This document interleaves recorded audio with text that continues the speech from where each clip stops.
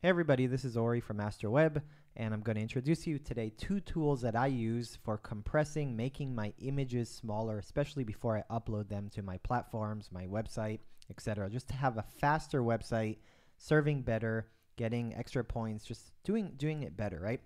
So I've talked about this a lot in different videos, how to make your website faster, how to speed optimize, how to compress. I wanted to show you these two uh, cool tools. Okay, the first one is compressor.io. It's a web tool. You don't need to install anything.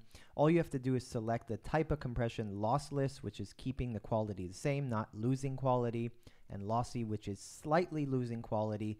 In most cases, you're not even going to see it. It depends on the image, of course, uh, but really compressing the image. So I'm going to take an image from my computer, uh, and I just have an image right here. It's 279 kilobytes.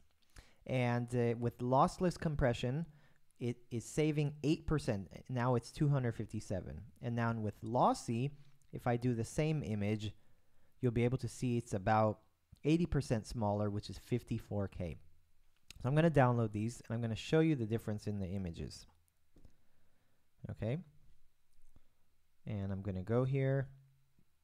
I'm going to take these two images right here, this and this and I'm going to copy it to my origin folder. Okay, so now I'm going to open these three images. One is the original one, and and then if I if you notice I scroll between the two, you're not going to really be able to see any difference.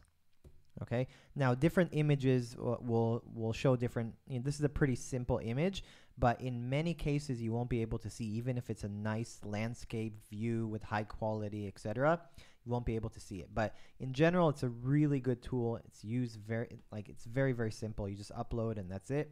Um, you also have some custom options, which I've never really played with, but you can change the quality even more. You can resize things like that. They do have a pro version. I haven't used it personally, uh, but I recommend um, go check it out and tell me what you think about it, and I will as well. Okay? So this is really simple.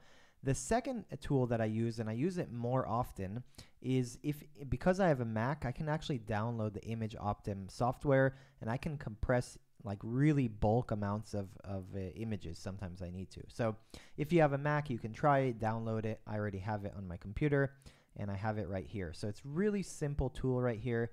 All you do is you drag images and you compress them. So uh, first thing is you can actually set the lossless, which is this one, or the lossy, which I have right now. And all you do is you, you basically take the file and then you drag it in or you click here on the plus and you compress it. The only thing about this is it compre it doesn't make a copy, it compresses and resaves the same image. So if you want to actually um, you want to let me see right here. One second. If you want to actually uh, keep a the original copy you should. So copy it but um, let's let's show you what's going on right here. So let me take these three. So this is the 286 the original one a 263 286 263 and a 56 let me show you what's happening before and after okay? So now I just put it in and I'm gonna allow some access and that's it. It finished it. So finish this, finish this, finish this. Okay. This one, it didn't compress at all. And these ones, it compressed by 65% or 68%. Okay. And this, as you know, is lossy. Okay. So now if you go here and let's look at the date modification, you'll see the differences 286, 263, and the 91, right? So you'll see it's compressed it a lot. And let me show you okay?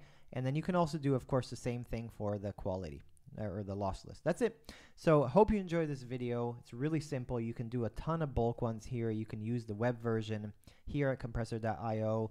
ImageOptim is imageoptim.com. Um, that's it. If you guys have any other cool tools, uh, be happy to, to learn about them. Um, thank you for watching the videos and hope you guys can make your websites faster, images smaller, and appreciate uh, any comments. And that's it. Thank you guys.